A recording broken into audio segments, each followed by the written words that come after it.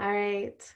Well, Bishop Flunder, thank you so much for being with me here today and taking time in your busy schedule to meet with me. And um, I'm just excited to get to know you and hear about your your journey and your story and what's uh, what's working for you and where you're being challenged and what's uh, exciting you these days. So, thanks so much. Well, thank you, Deshna. I'm glad to be here. Awesome. Um, so some of these things I mentioned in an email to you at one point, and um, so some of this will be a little bit repetitive, but I figure I would just sort of do a quick background. Um, as you may know, I'm the director of the nonprofit organization progressivechristianity.org. And um, we are an international organization primarily online we offer resources for people who are building community, who are in faith communities. Um, and those are a wide range of spiritual resources such as uh, sermons, articles, books, books reviews, curriculum, study guides, that kind of thing. Mm-hmm. And we also offer networking and community building support. So we're wanting people to feel supportive in creating or sustaining their progressive communities. And um, another thing that we're doing right now is that we are publishing the subscription newsletter called Progressing Spirit. And that was uh, that grew out of the previous uh, Bishop Spong newsletter, which was a new Christianity for a new world. Mm-hmm.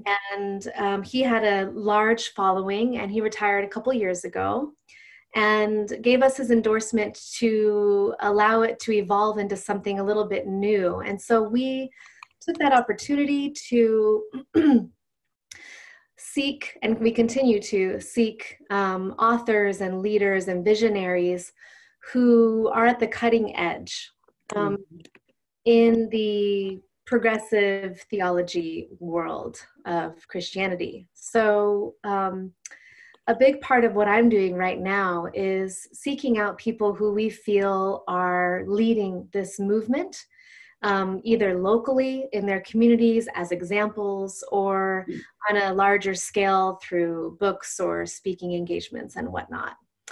And as I mentioned to you, um, we are really doing our best effort right now to center voices of women of color people of color in general, but primarily women of color. We feel that for much of the movement, it has been led by uh, predominantly a white male, mostly kind of like scholar, uh, historian, pastor um, type author type person.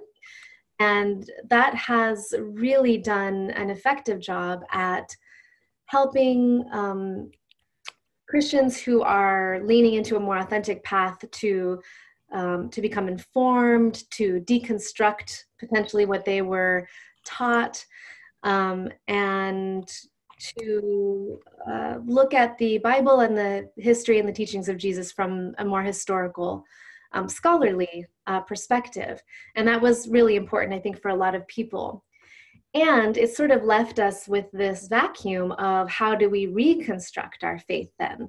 Um, if we're inclusive, if we're looking at the Bible from a historical perspective, if we're questioning uh, the beliefs that we've been passed down, um, what you know, where does that leave us? And if there is indeed a progressive Christian movement, what is that? What are what are sort of the tenets? What are the beliefs? Where do we want to go? What do we want to do in this world as a group of people? So, um, in some ways, this is a long history, and in other ways, we're at a precipice. We're in a transitionary moment right now of um, bringing together people from around the world to figure out how we can be a predominant force in the world of compassion um, by following the teachings of Jesus and also still be very relevant and meaningful in today's world. Mm-hmm. So that's a little bit about us. Mm-hmm. And um, I am very interested. I came across some of your sermons and then I went on like a Yvette Flunder mm-hmm. sermon binge. and, um, you know, and even in one of them uh, was a very moving sermon, and you were basically saying, I'm not going to be able to quote you because it was a while ago now, but you're basically saying, look, we need prophets, you know, and we need people who are willing to push the edge, who are willing to stand up and um, and lead. And this whole sermon, the whole time I was thinking, like, you, you, you're. Yeah. it's great that you're calling that out, and also I really see that in you. I admire your work. I admire your teachings very much. So. Thank you. Thank you.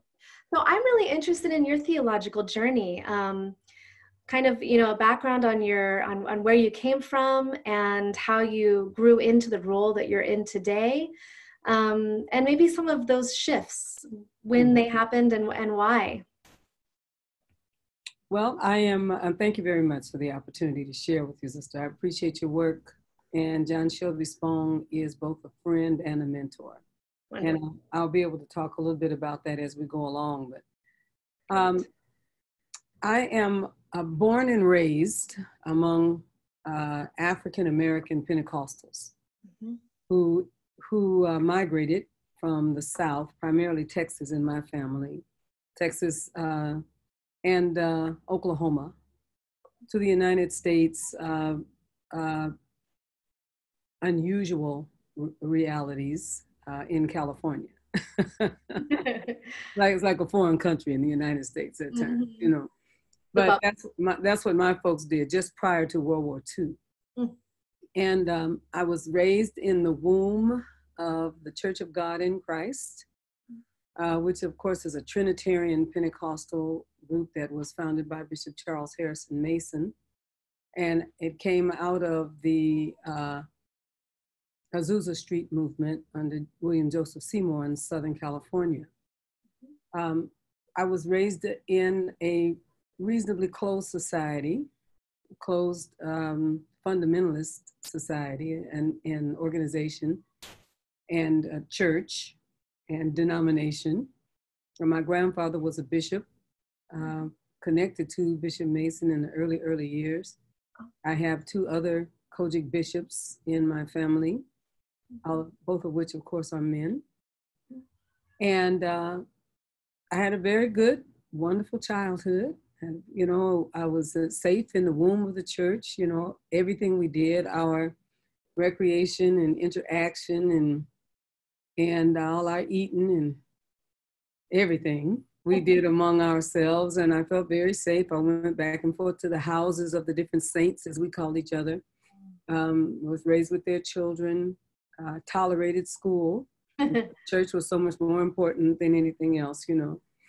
Um, and matriculated through the denomination and through the church and sort of was um, destined. I was in a highborn family, so I was destined to be a COGIC leader um, mm. among women, mm. which is, of course, very different than the leaders among men. Uh, I, I would suggest that I had three distinct departures that made me leave that experience. One was uh, that I sensed myself to be called to social justice work. And our eschatology did not really embrace the idea of eco justice or uh, fighting back or pushing back against racism or certainly not pushing back against patriarchy and sexism. Um, basically, what we were, were focused on is enjoying ourselves with each other and essentially our wonderful worship services and our singing and our such like. But our eschatology had us always focused on the soon coming of Jesus. Mm-hmm. And Jesus was really coming like on Friday or something like So there was very little time and energy put into repairing the planet, mm. being in, engaged in the body, body politic or in the, in the political systems uh, all of this was in the hands of Jesus, and you know, it's it's a sort of a oxymoron to try to heal the earth when you're so sure that Jesus is going to come blow it up at any given time. So, yeah, our focus was on trying to get right with God and stay right with God because you could sin, uh, and and you would be damned to hell. So you had to to keep coming back trying to get it right. So it was a it was a huge uh, part of our time and effort was trying to get ourselves right with God and get everybody that we met right with God because of this imminent and punitive return mm-hmm. um, mm-hmm. of Christ. And so that was the way I was raised. And yeah. I depart I departed from it because I had a real problem with the call or reconciling the call to social justice to that kind of eschatology, apocalyptic eschatology. I couldn't connect it. Why would I care about people? But I did deeply care. Right. About seniors, about uh, children. I had a foster foster group home for uh, hard to place young people. Got engaged in the HIV epidemic. Worked very very hard to save people's lives, and the two things just did not jive. So that was my first departure. I would say my second departure would be that I sense myself fully capable of doing this work as a woman. Mm-hmm. And it just wasn't allowed. Mm-hmm. Uh, we were, we had to, to speak from another podium. We couldn't go to the, we couldn't mount the pulpit. We couldn't go up the stairs into the, except the cleaning lady. she got a pass for some reason, but the rest of us, women, we could not. We had to talk from the floor never from the uh, couldn't ascend right. go up, up into the pulpit. Um, we were in this constant place of having to always affirm our men. Mm-hmm. We had to keep talking about how wonderful they were and how we thank God for them, even if we were writing their sermons. uh-huh. you know, our job was to make them feel secure always because they seemed that their the patriarchy was very fragile. Right. And it seemed that there was always some way you could cross that line and then you would just screw up the whole rest of your life, is yeah. the way. And so I couldn't figure that out. And I remember one of my relatives that had been incarcerated uh, was a minister and he got out of jail. And um, one of my uncles uh, wanted to appoint him again to be over the youth department, which the whole time he was in jail, I was responsible for the youth department. Mm-hmm. And I asked my uncle, I said, so tell me, how is it that he's going to be over the youth department as the youth pastor? What, what does that make me? Mm-hmm. He said, well, you just keep doing what you're doing and keep helping him, but we can't make you the pastor. So I said, let me get this clear. I keep doing the job. he gets the, the, the call and the title. Right. While I'm doing the jobs. Well, you know, he said, it's, it, everything is not in a name. Everything is not in a title. I said, okay, well then, why don't we call you a usher? right. While you're the pastor of the church. How would that make you feel? Yeah. How would you feel about that? So needless to say, shortly after that, I had to find somewhere else to go. Yeah. I was in trouble on several levels, you know, yeah. internally, externally, the whole deal. Around uh, around when, like, it, what year? Around the? Well, I was young. I was um, in my probably my middle 20s. Mm-hmm. So I was young. Um, and I also, I, I, it would be important to lift up what, what is really the third departure. Some people think it's the initial departure, but it's not. The other two came first. Right. The third was when I sensed myself to be a same gender loving woman. Mm-hmm. Now, I wasn't alone. Mm-hmm. There's there's a there's a significant underground of same gender loving people in in every fundamentalist denomination that I know of. Yeah. Um, in basically every religion that I've ever been connected to, I have always known that there were same gender loving people and trans people and people who walk the line in terms of gender identity and so forth. Um, so I wasn't alone. I didn't, you know, I didn't learn sex outside of the church. I learned sex inside of the church. I never had to leave church. of course. the reason I had to leave uh, when I left was because I could not conscience lying about who I was. Yeah. And who I am. I just couldn't pull it off. Yeah. It didn't make sense to me uh, that God would call me and not be aware of who I am. Mm-hmm. the same God that called me knew it was me when God called me, right? right? Right. particularly to to be engaged in ministry and injustice work. And so I couldn't reconcile that. I decided if I was going to err, I was going to err on the side of authenticity. And I would not try to serve God in subterfuge. That that wouldn't work for me. So I began to get involved in justice work. I left church altogether and uh, justice work be, was my worship. Uh, working with seniors, working with young adults, working with people living with HIV, helping people to get off substances and mm-hmm. uh, all sorts of things like that. Felt very good about it until I had an epiphany driving down the street in my car when um, I felt in my Pentecostal self mm-hmm. what was in fact and indeed the voice of God speaking to me, such that I had to pull over to the side of the road. Mm-hmm. And I had that moment, you know, I'm a, I'm a Pentecostal who experiences the presence of God. I speak in tongues, I pray in tongues, I sing in tongues. I, I was raised that way. Yeah. And it's real, it's a real manifestation. I've come to believe that God does honor your expectations mm-hmm. and your experience um, in terms of how you are how you are uh, how you express the divine Absolutely. in your personal and private prayer life so spirit knew what to do with me overshadowed me in my car i had to pull over to the side of the road and i heard what what was almost an audible voice say to me that it was time for me to get re-engaged in the ministry of the church or in the church and I argued. That's how much I, I heard the voice. I said, Oh, no, I'm not doing that. I'm done with that. I'm out here doing this. Mm-hmm. I'm good. I'm good. I'm, I'm, good. Yes. You get somebody else. I'm good. I've been there, done that, you know. Yeah. Uh, but the call was very clear. And that's what began my journey back to back to ministry full time,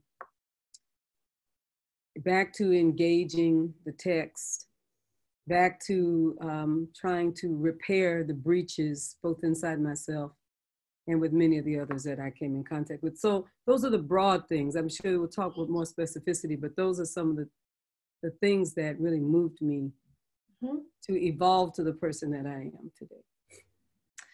Well, I honor your bravery because coming from where you came from, um, it took a lot of courage to to step into that authentic path and to be willing to ask those questions.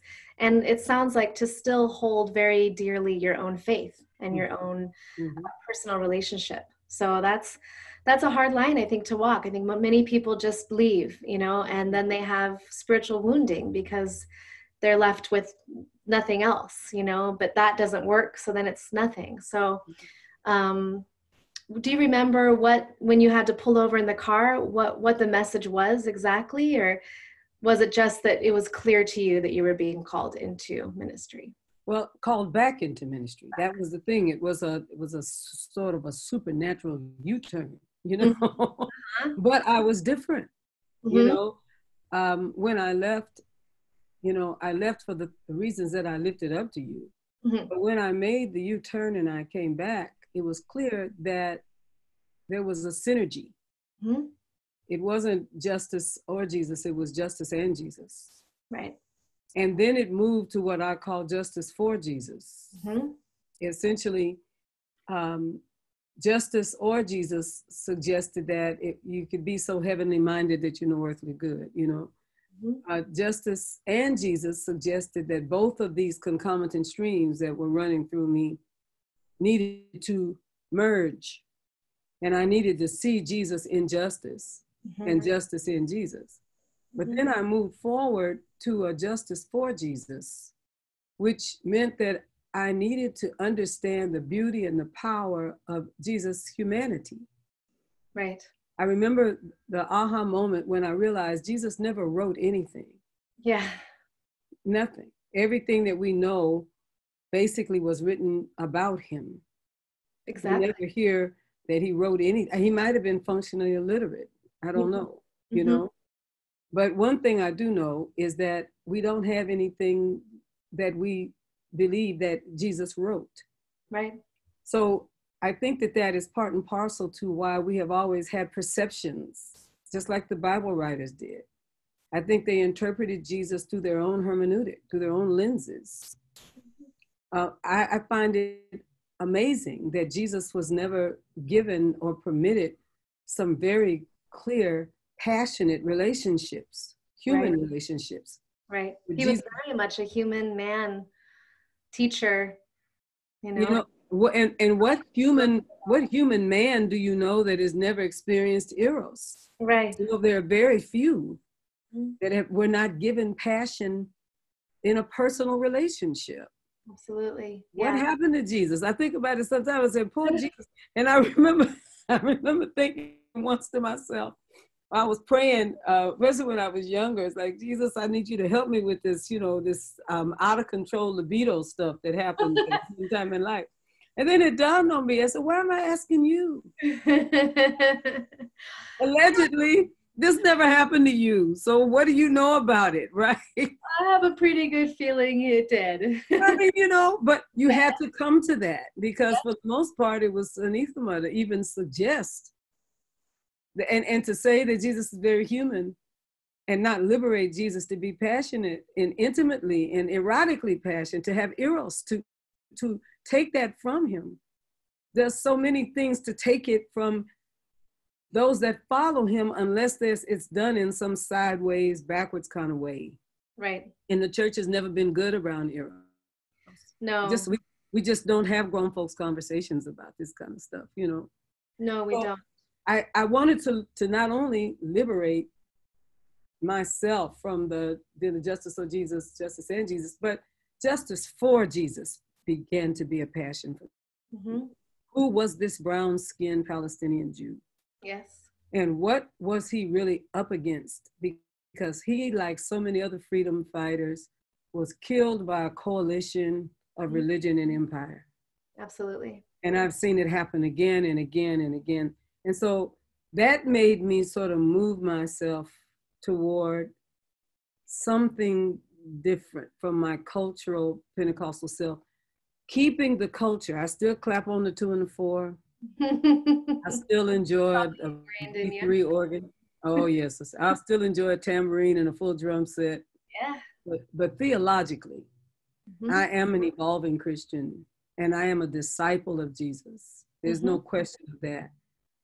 And I have had to bring those two things together internally in harmony with one another. Right. So, on that note, as you're starting to reform the life of Jesus and the person, the human Jesus in your mind, um, did you have a, sort of an internal battle with, um, you know, because there's a pretty serious belief that Jesus was God. Mm-hmm. And so, did that start to shift your relationship with God, with Jesus, with Christianity? Was that a was that a struggle, or did it just sort of fall away and felt very easy and natural to you? Well, I had some. I had some in real questions. You know, you know, the Bible is is a a, a tricky amalgamation and, and pulling together of different things that really conflict with one another in interesting ways. You know what I mean by that, right? So it depends on your hermeneutic. You know what I mean? And my when my hermeneutic was one thing, I could see those things. Yeah. That came with that hermeneutic. When my hermeneutic shifted, I go back to the same places and I see something else completely different. Right. So when, when my hermeneutic began to really want to liberate Jesus, I began to hear him say things like, um, um, I and God uh, are one. And at the same time, say things like um, that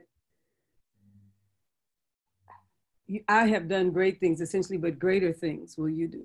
Mm-hmm. Or you're, you know, we, you're the firstborn, or I'm the firstborn of many brethren, or many siblings, mm-hmm. or there are things that that essentially happened in his life and his experience there were more things to come that would be even greater than what his life and experience and and then the whole concept of his, his anguished prayer to god mm-hmm. and then his prayer to god that says let them be one mm-hmm. with you and i the way we are one we want them to be one it made a universal opportunity yeah. for people to walk in the same steps that jesus walked in mm-hmm. and to do not only work like jesus did but perhaps greater work. And but my hermeneutic permitted that. Right. And I began to see was something that Paul said in his writing. He said the the mystery of the ages are revealed. The Christ in you is the hope of glory. Mm-hmm. That was a good day for Paul. he, didn't have, he didn't have good days all the time. There were times that he wanted to beat up his flesh and stuff, and I feel like I wanted to take him into counseling and try to help him. can't spend you, can't spend your life hating yourself, son. That's what I want to tell him so bad. You got you, you got to get past that. Whatever it is that took you there, we got to get you some help to go with that. But there are other times that he would say things, and I would I agree with him wholeheartedly. Mm-hmm. I believe that the Christ in us, as versus the Christ on us and the Christ around us and the Christ, you know, it's the Christ in us. It is recognizing and finding the God life in us mm-hmm. that gives us intimate relationship with our understanding of the divine. Mm-hmm. Well, I think that Jesus came to that. He had to have because if he was very human, he had to evolve. Right. Yeah. and you can't be God and evolve at the same time. How do you pull that off? You know what I mean? Mm-hmm. And he was doing the the real work. I mean, he was. There you go. And he got really mad. Yeah. You know, and, and if we are to read it right, he got really pissed sometimes. Yeah. And then he was also into taking care of his own people as a priority. Yeah. You know, and one of the other things I push back against is Paul's whole concept of my being grafted in, you know, that I'm a contingency plan. Mm-hmm. Because Jesus' own tribe, his own people, didn't receive him. And so, since they didn't, then he opened up to the rest of them. I said, Nope, I don't believe that. Mm-hmm. But if I had been Jewish, Palestinian Jewish, and I had written the book, mm-hmm. I probably would have preferred my people over everybody else too. I mean, you know, um, yeah. But I find that concept of exceptionalism problematic, right. though it is all over the text that God has a people. Yeah, it was a very tribal, tribalistic very, time. Very, and all you have to do if you're a white supremacist is just take the take that group of people and set them aside and put yourself in their place. Yeah. Then you can you can justify uh, a sense of superiority because the Bible is written that way. Right. Right. It is written that way to suggest that one people are greater or more special to God mm-hmm. than, than all the rest of the people on earth. Everybody else is a contingency plan, it's an afterthought, you know, which is very frustrating so many of the stories in the bible are written to to uh, place somebody as a leader or place yes. some person in a lineage or you know it's it's not all um, just perfect teaching right. and and that's relevant. human beings that's what we do you know yeah. i would you, you you would tell the story of your lineage a certain way mm-hmm. i would tell the story of my lineage a certain way right be, because we love our people. So I'm clear that it's just that to take that and make that the foundation upon which we build relationship with the divine is problematic. And it's another one of those cultural realities that show up in the text, you know. So, you know, that my my shift is in process. Right. You know, I have I have lived long enough to get in touch with the fact that I'm I'm part Native American, I'm part Irish, oh. I'm part African. Wow. And all of those things that are going on inside of me have had experiences with the understanding of the divine. Mm-hmm. And mine, you know, among Pentecostals and the gifts of the Holy Spirit and the gifts of, of uh, ascending in, in, a, in a spiritual way are not substantively different than what happens in the sweat lodge when my other ancestors prayed for an, a revelation of an, mm-hmm. uh, an animal spirit um, or a spirit animal, or when the Muslims whirl and they're twir- whirling dervishes. Yeah. Until they feel the presence of their, the understanding of their presence of God. It's that combination of spirit and culture mm-hmm. that beautifully shows up from one group of people to another. And if we'll drop the silos, yep. that make us feel exceptional because our experience is different, we can find the sameness in one another. Absolutely. I clearly see a golden thread through the especially the mystical sides of you know the religious there's there's the religion that all were awoken through a mystical experience yeah. and, you know and then they became institutionalized yes. but that mystical experience that that awareness of oneness the the the interconnection with the divine and you know this planet um, that is threaded through all all of our various religions and paths. Yes hallelujah. And i'm so glad to hear you say that because it is really the way and i want all my stuff you know what i mean? Mm-hmm. and so when i so wherever i go i keep one thing in the back of my mind. It says never for the sake of of is is essentially um acceptance or affirmation never deny the authenticity of your own lived experience. Never do that. Mm-hmm. But I also think it's important to never deny the authenticity of other people's own lived experience. Absolutely. Yeah. We can never know, you know, what someone has gone through. And I personally, and I mean, I know for sure as an organization, we believe that not, none is more authentic or valid than any yeah. other. That's right. And it's all, you know, for me, it's it's we're we're pointing toward the moon, you know, and we can spend a lot of time looking at the hands pointing, or we can turn toward the moon. Um, I hear that. so what I I'm I'm very impressed with all the work you're doing locally and in your church. Can you take a few minutes to just share? Um, I know you've grown from a small community and then you were um, accepted into the United Church of Christ denomination. Um, currently like what's working for you as a community what's what's helping you thrive and grow and diversify if if those are true mm-hmm. um, and and maybe where do you see the challenges still lie as as far as in general you know church communities out there seem to be really struggling right now mm-hmm. a, a large number of them Mm-hmm. Um, they want younger people, they want families, they say they want to diversify, they say they want to be inclusive. They're not always showing up in that way, however. Mm-hmm. Um, but you know, they're they're aging and they're they're getting smaller.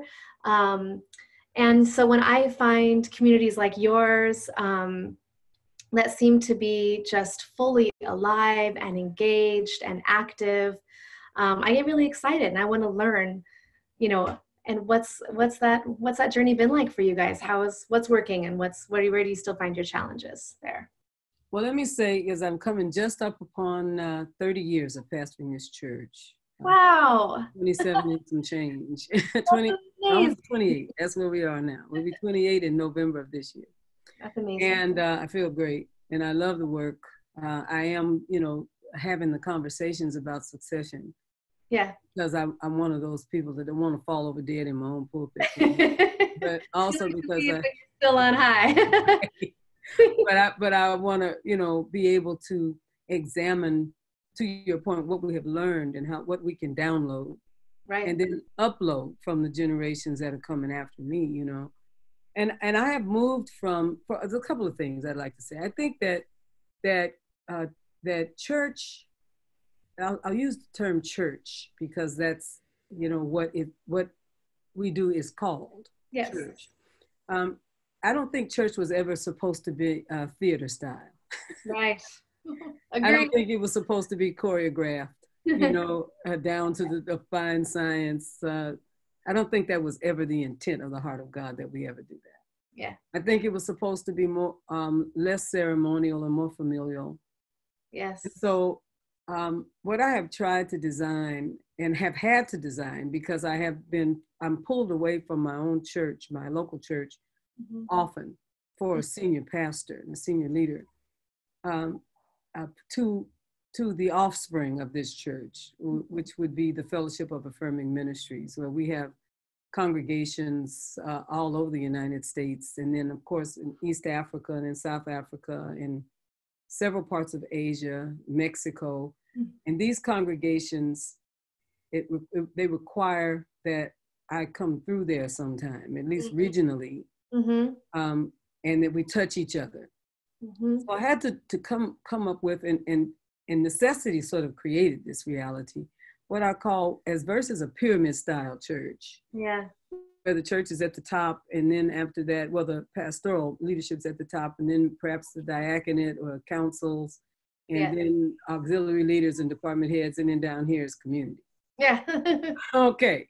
So what we what we have is a wagon wheel. If you imagine a wagon wheel with spokes, with a hub in the middle and spokes that go up, and each of those spokes is in some way attached to the hub, which perhaps represents some leadership from all of the spokes and held together by the community, which I see as the rim. So if the rim is what holds it together, mm. the spokes are these individual kinds of, of ministry pieces. Mm.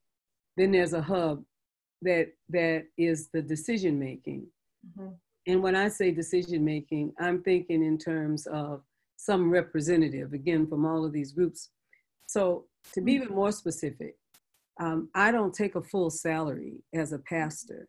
Mm-hmm. I take a, I have a stipend. Let's say a, a, um, a, certain amount of money or certain expenses that are paid for in my regard. And each of the associate pastors mm-hmm. are all also uh, working. All of them are degreed, but mm-hmm. they're all working in the fields that they are degreed to work in.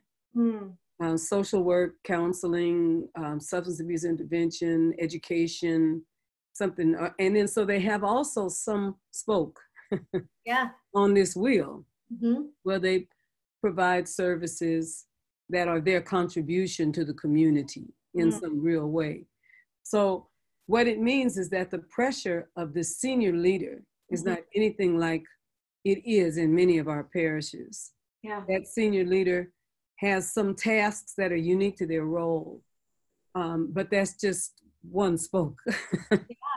And all the spokes are equally equidistant, so equally important. Yeah.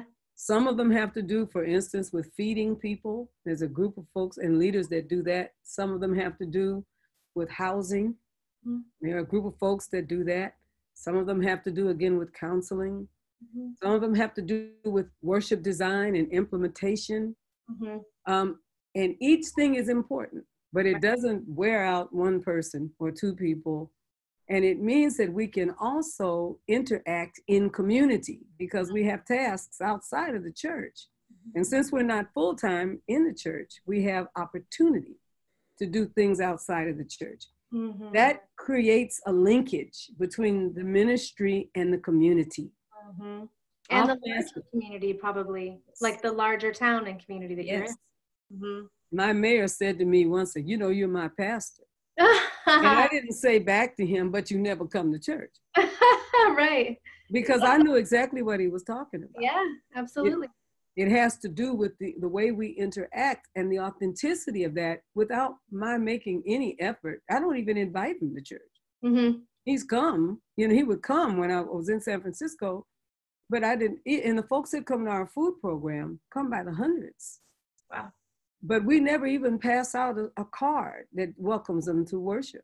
Mm-hmm. We don't we don't give them a pamphlet. We don't wear T-shirts that have yeah. the church name and logo. They ask us. I, I, I heard it's a church here, and we'll say, yeah, well, we do have a worshiping community. Well, when do you worship? Well, then we tell them. Yeah. But we don't tell them unless they ask because we never want them to think in any way that we're feeding them because right. we're trying to get them to join us. Right, right.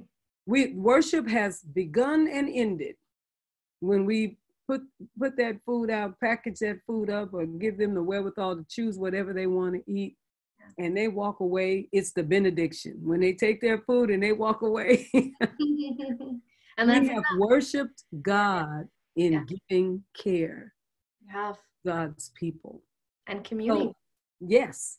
So that's a different style. Uh, to me, I think it is very different from what the way I was raised, mm-hmm. and it does not s- suggest success is determined by the number of people who are in the seats Absolutely. on Sunday. Yep. That's one of the things we do. Yep. But if you ask us at the end of the week, we have a clinic, we have a pharmacy. When ask us at the end of the week, how many people did we serve? Mm-hmm. That's a very different number. And I see it as church unusual as versus church as usual. Mm-hmm. So, how do I imagine the future of the church? Yeah. Uh, um, a familial, sacred community, mm-hmm. secure, inclusive. Less siloed, mm-hmm. you know, welcoming, also raggedy. That's my word. Yeah. I think church should be raggedy. Yeah. Real. Yeah, real. I, I, I, recently went to a church. Uh, my partner and I are church hop, you know, church shopping. Yes. Oh, I got it. Yeah, I got it. Shopping, church shopping, um, and you know, beautiful building, beautiful people, and and yet, as you said, it was it was it was so choreographed, and mm-hmm. it was so like I was almost in a dream because it was so the same as every mm-hmm. other type of mm-hmm. service in this type of church, um, and uh, we went to another church where people had their shoes off and, and there was time for people to just sort of talk and share what was happening and it felt like family it felt like friends mm-hmm. um, you know both of them were serving different communities. And so there was a reason why the people that were there were there. Um, but for me a real community is that realness. It's it's the ability to come in with bare feet if wanted. It's the ability to share that really uncomfortable thing that's happening. Um, and for the the people to share the um, like you said the responsibilities the teaching the whole the whole thing. So i'm i'm happy let me add one other thing. In in that raggedy environment as we call it you mm-hmm. know we have children that are on the autism spectrum mm-hmm. and they're and they have moments mm-hmm. and so we have had sessions we had we've dedicated whole sundays to talking about autism yeah so that we as a community, it doesn't stop our choreographed service because it's not choreographed. Yeah. If one of the children has an outburst, we know as a community what to do. Mm-hmm. We have other people who have service animals. They bring their dogs, and sometimes the dogs don't get along. So they had this moment. we had one of those last Sunday where a couple of the dogs, little bitty little dogs too. These two little bitty little dogs. They can really turn into something. These little bitty dogs. so they get into it, the little bitty dogs with each other, and then we have to, you know, manage it. Yeah. You know, and got to stop a minute. Then we have to kind of work with the, the situation, and we got to pick up where we left off. Yeah. We keep going, and when when you have real moments like that, mm-hmm. you know, as I said to a church once when I, I went to minister, this is the most perfect place I've ever seen. I said, you all, even your flower arrangements match each other. That's the most amazing thing I've ever seen. On opposite sides of the pulpit. I said, this is amazing. Yeah. They had they had light color fabric pews. Uh-huh. Light colored. I mean, can you you know light color fabric pews? That's really something. Wow. You know, I said, so I'm just curious. When I was talking to him, I said, so where would your homeless people sit? Yeah. Yeah. Because essentially, your building is preaching before you do. Absolutely. About who can come and who can't come. Mm-hmm. It's not like that if you go, as I was saying, in my community, if you go to your mama house, if you go to your mama house, yeah, and your mama knows that you have one of your children is real different, then your mama knows that. Right. Your mama is gonna make provision for that child. Right and, and and it starts with the most troubled child from the most troubled child right because mm-hmm. your mama knows mm-hmm. that's why i see god it's sort of like that right i'm writing a book about it now called, called oh, my, ah, mama, wait. called my mama's kitchen. Yeah a theology wow. and a homiletic of radical inclusion. Yeah what does that look like? You know what is what does it look like when the house of prayer is like mama's house? That's that's the difference in it so. Our, our beliefs should should inform our actions and if our actions do not match then the beliefs are empty in my opinion. there you go so we have just 10 more minutes or so um, one of the things that's a little bit of a tough topic for 10 minutes but i'm i'm wondering um, is it possible do you might do you think that christianity can make reparations for the racism and sexism that's been inherent in our societies? And um, if so, you know, where do we start? I think that Christianity, in the fundamental teachings of Jesus, um, and what is attributed to Jesus. I think that Christianity can make reparations, but the, it's the beginning point that's complicated. Yeah. And the beginning point is repentance, truth telling. Mm-hmm. It has to start with with